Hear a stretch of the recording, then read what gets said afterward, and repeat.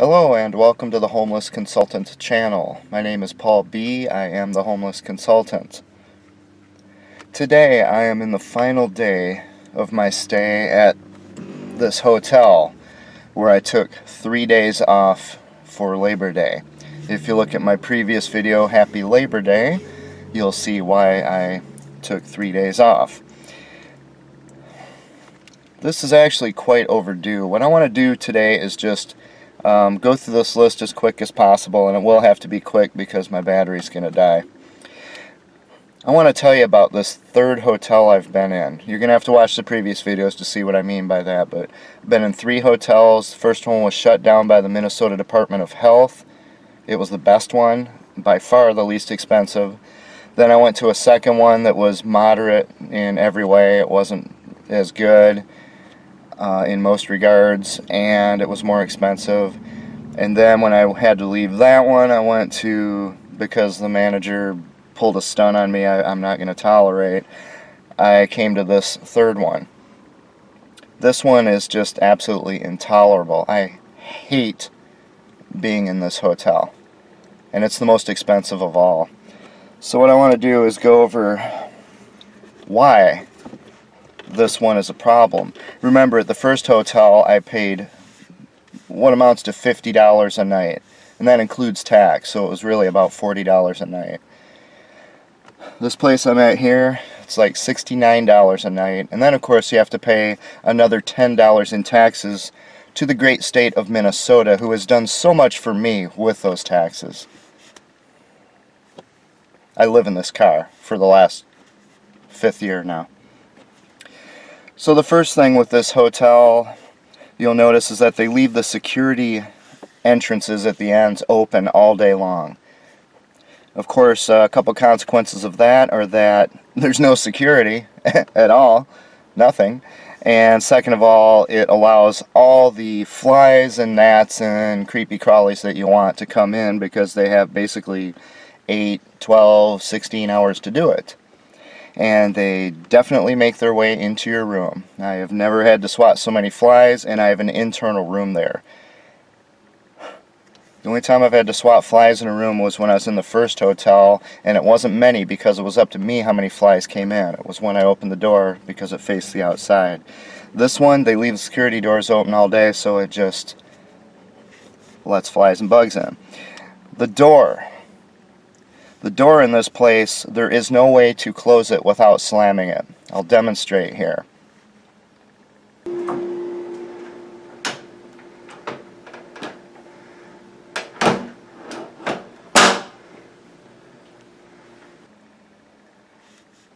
So the door, there's nothing you can really do, no matter how gently you hold it, there is nothing you can do to avoid slamming the door and disturbing the people around you, or having them disturb you. Also, when you just let the door go, when you just release it, like if you walk in and your hands are full, instead of coming to a nice smooth stop and closing and locking and latching, this is what happens.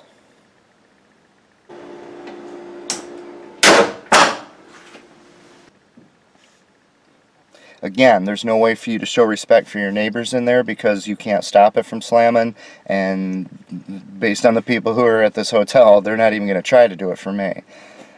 Alright, next up is the door itself. There is On most of the doors, this particular door, this stay, does have the chain on it. Most of them do not have any chain at all, just the deadbolt, which really means nothing with those key card systems.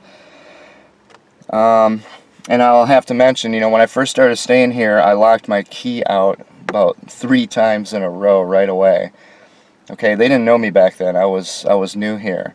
And when I went up to the desk to get another key, all I had to do was tell them the room number. I did not have to tell them my name. I did not have to show them any ID, and they would just cut me another key. How safe do you think my stuff is in there? The peephole. The peephole actually on this room is okay, but on every other room I've been in in this place, they were filthy and they were just so clogged up you couldn't see anything. One of them was just nothing. You look in and you just see a bunch of yellow and brown. You couldn't see, you couldn't even tell if someone was moving. So the peepholes are basically useless in many of the rooms. Then when you go inside, all of the light switches have different covers different colors. Some are white, some are beige, some are kind of that cream. They're different different colors, different styles, and they're filthy, absolutely filthy.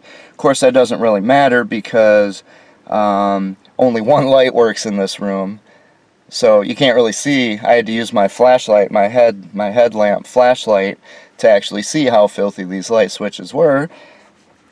Um, so the only light in there that works is the one in the in the room, and then the bathroom light works also. Alright, the bathroom itself, uh, again, as I said in the last video, in this particular room anyway, it smells literally like a decomposing skunk. I'm not trying to be funny there. That is the best description I can give you of the odor. It's horrifying. It just makes me want to vomit. The bathroom, uh, the bathtub drain in there is just putrid and it's open. It doesn't have a doesn't have a plug on it, and the bathroom fan is quite loud. Again, uh, that causes it can cause problems, may or may not, but it certainly you know it's going to disturb neighbors if nothing else. The thermostat on the wall. Take a look at this. You tell me, did somebody set an M80 firecracker off inside that thing or not? How did it get in that? How could it get in that condition? And how could it be kept in that condition by a responsible professional hotelier? How could that happen? Let's go look at the air conditioner itself. The air conditioners in this place, every one of them seems to be different. Some of them are on the ground, some of them are way up high. The controls work differently. The controls are pretty much rubbed off of most of them, so you can't even tell how to control it. This particular one, uh, you can see some wear on it. They're, it's absolutely filthy just absolutely filthy controls. I mean, don't forget, every one of these filthy things that I touch, putting my eye up to those peepholes, you know, you get an eye infection. Touching those light switches, touching these controls on this thing, trying to touch that thermostat. Every time you touch that stuff, you don't know what's been in that room before you. These things should be clean. If we move over to the microwave oven, took me a while to figure this out. I thought it just didn't work at all, but what it is, is the zero doesn't work. So every time I would go to put in, you know, 200 for two minutes or 300, it wouldn't take it, and I couldn't figure out why. Of course, I had to reset the clock first before you can do anything because apparently they keep plugging it, unplugging it, and plug it in, but then they don't reset the clock. So the zero doesn't work, but even beyond that, when I do put it in, I put in some water to make some ramen noodles for three minutes, and the water came out warm. It wasn't even hot yet. Normally it takes about a minute and a half to get hot. Alright, if you look at the TV, which is the first thing I unplug when I go into any hotel, I want nothing to do with a television. If I could, I would throw the thing out of the room. The idiot box, one of the things that's most responsible for the dumbing down of the last couple generations, I don't want that thing near me. I just unplug it immediately. And as you can see, the two cords hanging down on this one, they, they should have merged them in the center with a snake that protects the cord and protects people from the cord and routed it, but they didn't, did they? They just hung a couple cords. Likewise, if you look on the floors of these rooms, this one isn't as bad. This is the only massive wires that are on the floor in this particular room. Most of these rooms have wires all over the place, cables, cords all over the place. Um, similarly, the plugs in this place are just unbelievable. I mean, they, they most of them have burn marks. They're all different. Some of them don't have the face plates. It's just the, you know, if you take the face plate off of a plug and you can see the, the high voltage wires in the back behind there, that's, that's a great place to take your kids. But they're, they're all different. The, the wires, the wires for the lamps are such a, a thin gauge. I can't believe they can even function. I mean, uh, it just terrifies me. There's burn marks on them.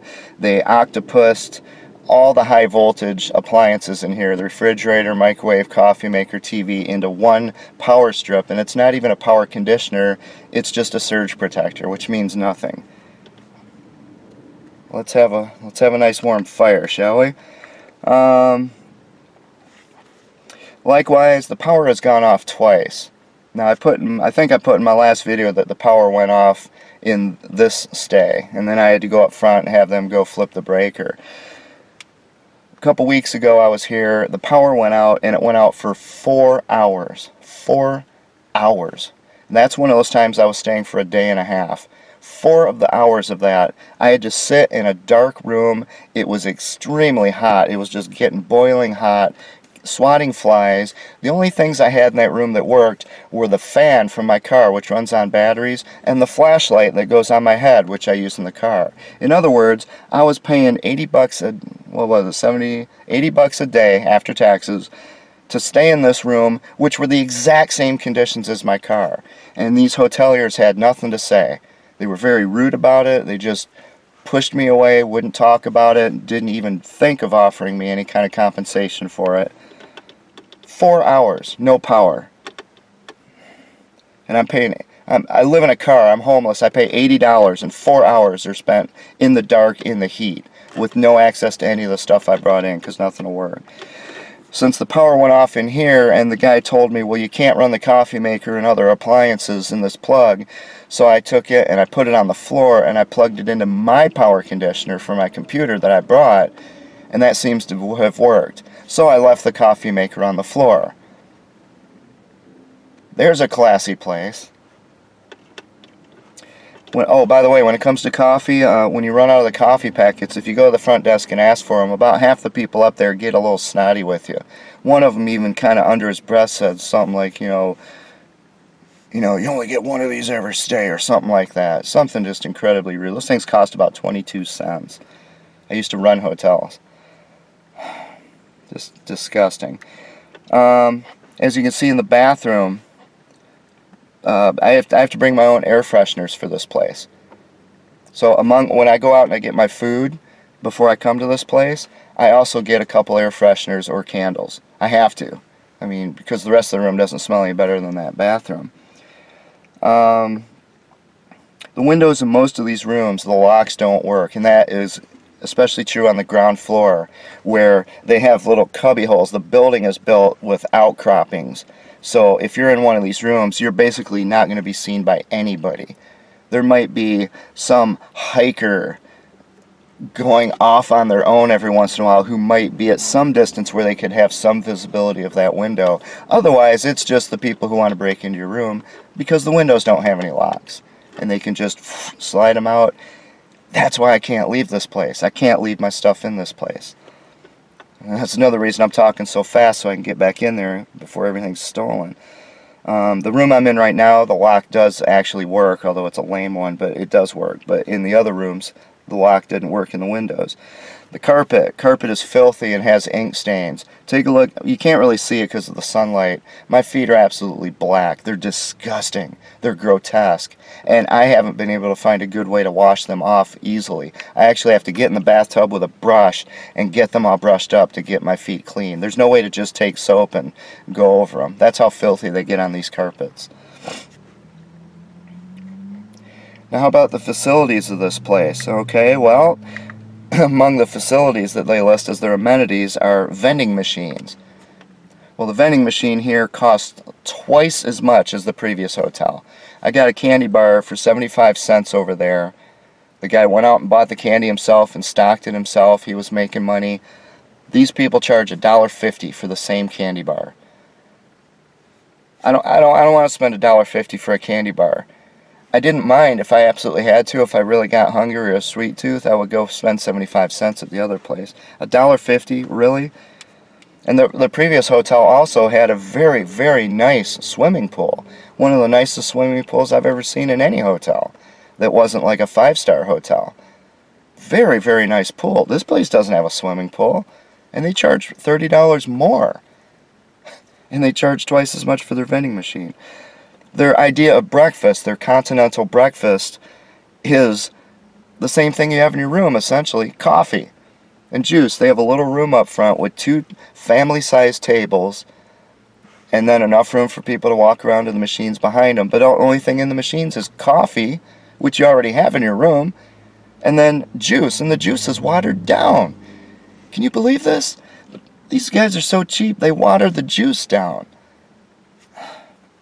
That's their continental breakfast. At the, at the last place, we had uh, at least donuts. Not much, but something. At least it showed that they were trying. And frankly, it was kind of nice to come down and get coffee and a donut instead of leaving your coffee machine on the floor, walking outside on that filthy floor down to the breakfast area and getting coffee. The same thing you just had on your floor in your room. You see you see what I'm saying. I'm losing my voice. I'm just so disgusted with this place. They have a laundry here. Well, sort of. The laundry has one washer, one dryer. In all the times I have been here, which is now several weeks, I have not seen one moment where that washer is not running, ever, day or night. I'm often put in the room right next to it, and then people day and night, boom, just slamming the laundry door. Boom! So I've never been able to do my laundry here just because you can't get access to it. As far as I can tell, the owners of the hotel are using that laundry themselves. Literally, that laundry is running 24 hours a day. Somebody's in there all the time. At the other place, there were, I think, uh, one, two, three, three. There might have even been four, but I think there were three sets of laundry. And I, I never once had a problem accessing the laundry ever at that place. And that cost $30 less at that place.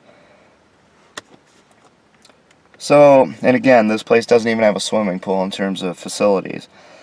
The thing that really makes this hotel utterly intolerable. All the things I just described are the kinds of things that say someone else might have described about the first hotel I stayed in, the one that the Minnesota Department of Health shut down, which I had no problem with. Frankly, I think this one's worse than that, than the one they shut down, but even if you try to say that they're basically equal, this is what makes this place more intolerable than the other one. The people.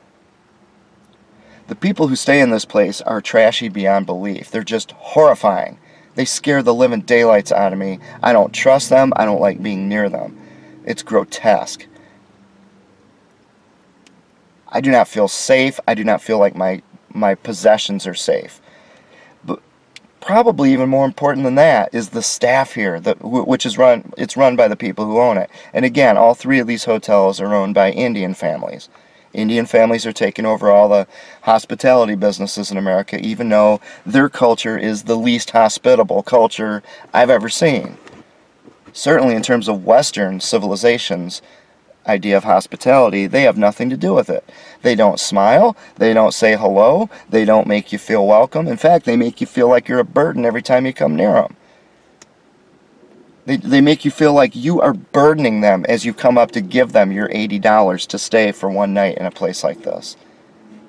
When the power goes out for four hours and you go over and politely ask when the power is going to come on, they, they basically chew you out. It'll come back on. It'll be back.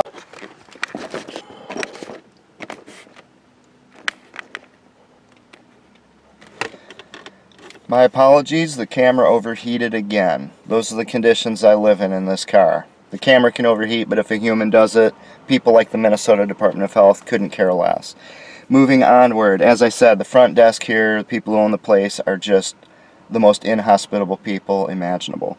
The housekeeping staff, none of them speak English for one thing. They don't look at you, they don't smile, they don't really say hello. A couple times they have, a couple times. There's one who looks like she's going to kill everybody in that place. One of the meanest looking, just storms through with this frown, just pushes Pat, literally just pushes you out of the way. This is one of the housekeepers, nasty. The one time when I was leaving, remember, it takes about six trips for me to load my car and unload my car when I was leaving, it was a couple weeks ago, it was, it was the same week that the uh, power went out for four hours. When I, I was making those six trips, every time I left, there were three housekeepers standing in the foyer, and they would just turn and stare right at me. Not smiling, not saying hello, just stare at me. And then there was a fourth one sitting by the washing machine, just staring at her phone the whole time. It took me about 20 minutes to load my car the whole time they're standing in that foyer and every time I would leave that room all six times they just turn and stare at me. Why? Because they wanted to use the room. They, they want to get in and clean the room. They're waiting for me to leave. That's how welcome I feel in that place. Alright? When I ran hotels I would do things like set up schedules for maintenance. For example I would say okay here's your project here's your project for today I want you to go to all the unoccupied rooms and check the peepholes. Okay, if you can clean them out and make them good and serviceable, fine. If you have to replace them, fine, replace them. All right, and then I would maintain my own schedule so that I know which rooms got done because some of the rooms were occupied and you couldn't work on them. Those would be set aside for another day. And then I would rotate it to another project. How about cleaning the windows outside? Uh, look at the windows in this place, just absolutely filthy. So I would set up schedules like that for our maintenance person so that, you know, make sure the plugs are in a nice snake so that they're taken care of. Okay, that's what I did when I ran hotels. That ain't what's happening here. The last thing I'd like to say is something about the law of supply and demand, which is something that Minnesota government, period, doesn't know anything about. The most basic, fundamental economic law in existence the law of supply and demand. These legislators don't comprehend it. They violate it all the time, which is why every time they do something, things get worse. Every time. Minnesota Department of Health shut down the least expensive hotel in the area. The reason it was the least expensive is because in according to most people, it was the least nice hotel. It's the law of supply and demand. There's less demand for a hotel that is in worse condition than others. That's why it was cheaper. That's why I could afford it. When they shut it down, guess what? There were only three hotels in the area that were affordable for people like me. And this is hardly affordable. I have nothing left because I'm paying an extra 60 bucks every week.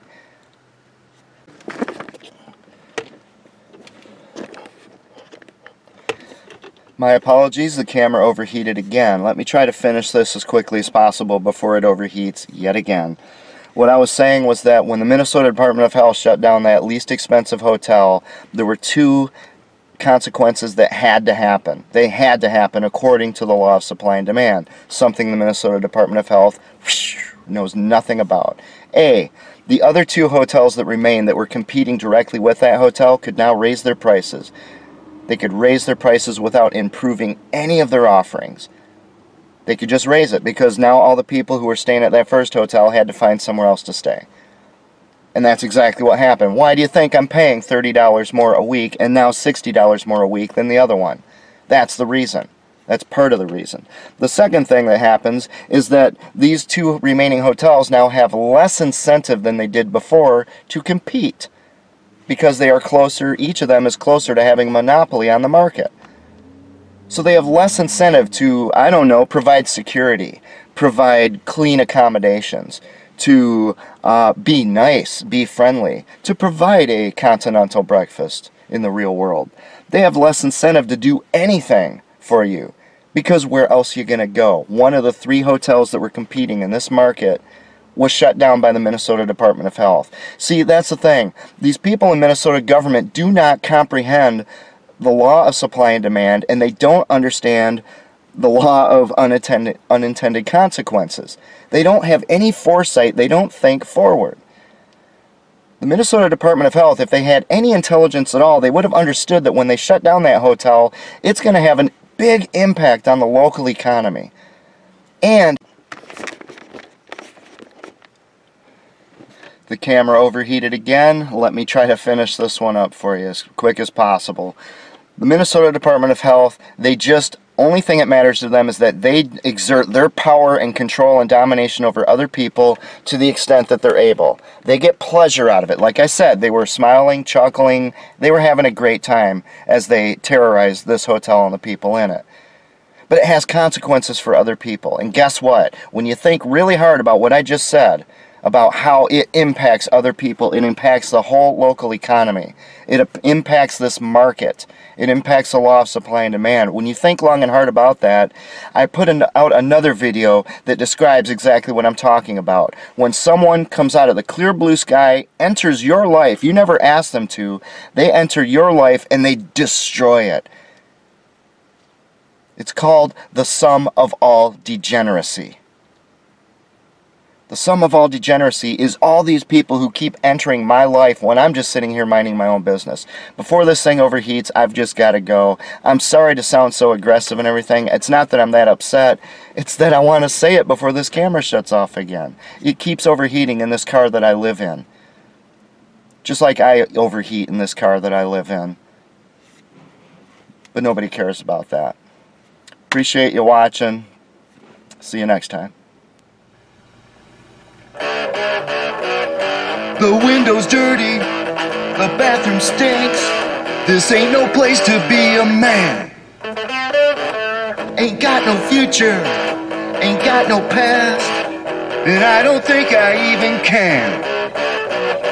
The floor is filthy, the walls are thin, the staff is frowning in my face. The flies are winning, I'm losing ground. Can't seem to join the human race. Living in a